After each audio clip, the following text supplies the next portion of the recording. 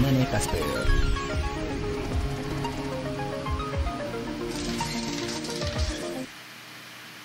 Hola, ¿qué tal amigos? ¿Cómo están? Bienvenidos a mi canal Nene Casper, su canal. Sean todos bienvenidos. Aquí les traigo otro video informativo de las becas Benito Juárez para todos los estudiantes de educación básica, educación media superior y para los estudiantes de educación superior.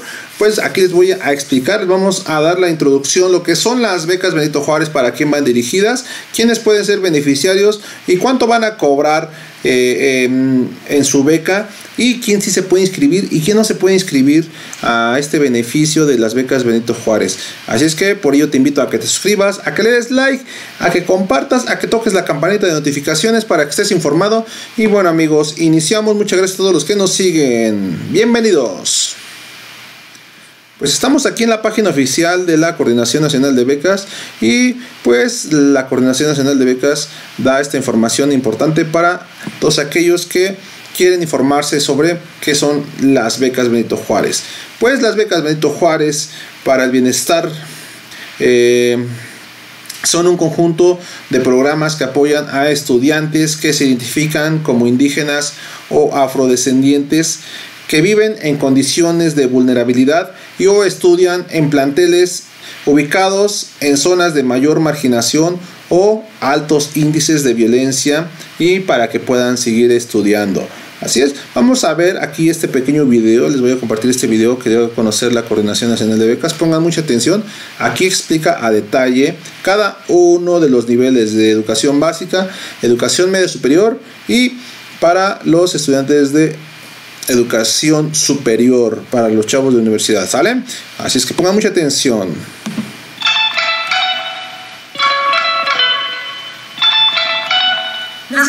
Bienestar Benito Juárez son un conjunto de programas de apoyo para que niñas, niños, adolescentes y jóvenes estudiantes que se identifican como indígenas o afrodescendientes viven en condiciones de vulnerabilidad y o estudian en planteles ubicados en zonas de mayor marginación o altos índices de violencia puedan seguir estudiando. La beca de educación básica es un apoyo mediante el cual la madre, padre o tutor de la familia beneficiaria recibe 800 pesos mensuales en una cuenta bancaria durante los 10 meses que dura el ciclo escolar para destinarlo a las necesidades básicas y escolares de sus hijas e hijos. Por su parte, la Beca Universal para Estudiantes de Educación Media Superior es un apoyo a través del cual todas y todos los alumnos de bachillerato que estudian en escuelas públicas del país en modalidad escolarizada reciben 800 pesos mensuales para cubrir sus necesidades básicas, escolares y de esparcimiento. Finalmente, la beca Jóvenes Escribiendo el Futuro consiste en un apoyo mensual de 2.400 pesos para alumnas y alumnos de instituciones prioritarias de educación superior, como son las universidades interculturales y las normalistas indígenas y rurales. Recuerda que nuestros programas no requieren comprobar o mantener un promedio específico o de excelencia. La educación es un derecho,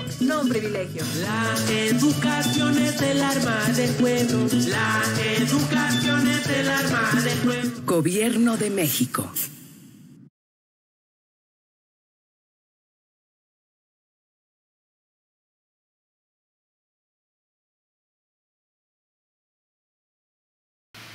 Bueno amigos, aquí estuvo la información. Vamos a iniciar con la educación básica.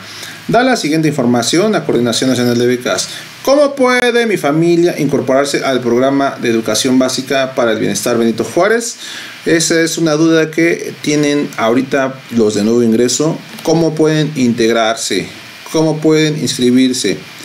Pues Aquí la Coordinación Nacional de Becas para el Bienestar Benito Juárez identifica las localidades en situación de alta y muy alta marginación con población indígena y o afromexicana, en donde viven y o estudian niñas, niños y adolescentes menores de 18 años que pertenecen a familias en condición de pobreza extrema. Primero, la Coordinación Nacional de Becas, como dice aquí, localiza, identifica las zonas de alta marginación y muy alta marginación, donde estudien niños, niñas, adolescentes menores de 18 años en condiciones de pobreza extrema. Ya una vez identificados, la Coordinación Nacional de Becas les va a hacer llegar un documento. Aquí vamos a ver, miren. Dice, una vez identificadas, realizamos operativos en las localidades o en las instituciones de educación básica que ahí se encuentran y por medio de una cédula familiar recabamos la información necesaria para incorporar a las familias al programa, por lo que no es necesario que envíen documentación o realicen algún trámite. Ponga mucha atención, la aplicación de la cédula familiar no garantiza que la beca será otorgada. Te puede llegar la cédula, la puedes llenar y pero eso no garantiza que la beca sea otorgada. ¿Por qué? Porque la incorporación eh, de las familias depende del presupuesto asignado a la Coordinación Nacional de Becas Benito Juárez y a los espacios disponibles en el padrón de beneficiarios. Efectivamente, pues esta beca de educación básica, lo que es secundaria, primaria y preescolar, pues no, no es una beca universal, no es una beca para todos los alumnos.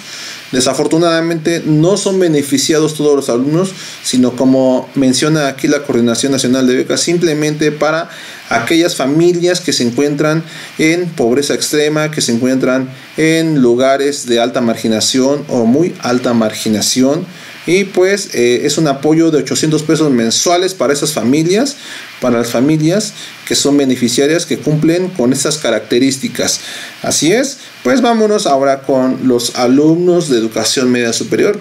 Los alumnos de educación media superior pues reciben también 800 pesos mensuales, pero esa beca sí es universal para todos los alumnos que estén inscritos en una institución de educación pública y que estén cursando o estudiando en un sistema escolarizado, eh, que estén eh, en una escuela pública. Para todas las prepas, para todos los bachilleratos eh, públicos del país, son beneficiarios de esta beca de 800 pesos mensuales. No importa el promedio, no importa, el, el, promedio no, no es un requisito, no es un requisito, ya que esta beca la está dando el gobierno para que no haya deserción escolar porque en ocasiones en preparatoria es cuando más deserción escolar había anteriormente y esto está logrando que pues no haya tanta deserción escolar, que haya un apoyo para estos jóvenes y pues sigan estudiando la prepa.